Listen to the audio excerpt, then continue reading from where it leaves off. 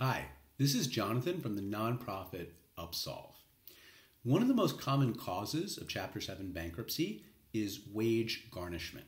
If your wages are being garnished by a creditor, the article below will explain a few of the ways that bankruptcy can stop wage garnishment.